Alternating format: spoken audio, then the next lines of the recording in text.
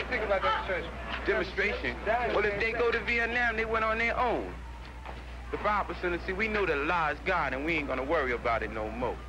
You're not gonna worry about what? We ain't worrying about Vietnam. If you went over there, you went on your own. See, we give respect to the government 100%, while we know what the government is doing for the people out here. See, we are 5% of poor righteous teachers. See, we know everything. See, we respect the government at all costs, while we are back him up. But we know he doing his job, while we out here to do a job also.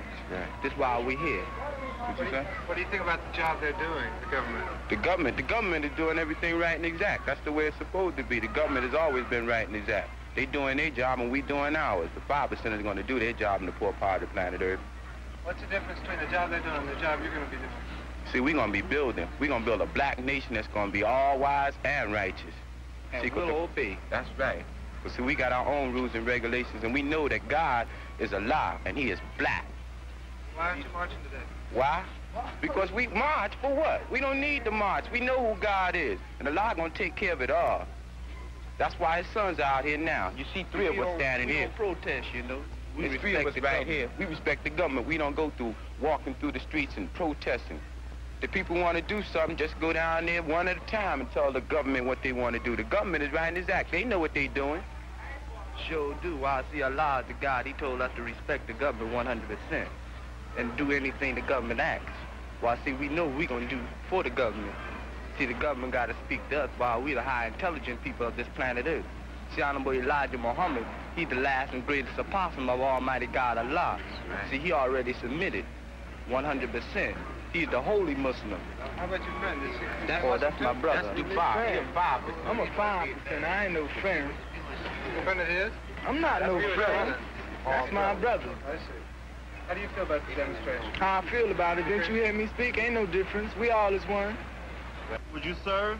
I say, I say all praises are due to God Allah. I go in the army and show improvement, come back home in no limit of time. The same way I went in there. Are you of draft age now? No, sir. Are either of Yes, you of sir. draft age? Have you been called? No, sir. Well, I spoke to the government while the government told me lay cool for a while. You got a deferment? Yes, sir. Are you trying to get other black youth to not go into the army? Are you No, I'm not stopping preserving them. not I'm not stopping stopping them. We're not stopping nobody. If you go to Vietnam, you go on your own. See, everyone is independent. Right. This year here is independent year. If they don't know they're independent, why they gotta go out in the street and go by themselves?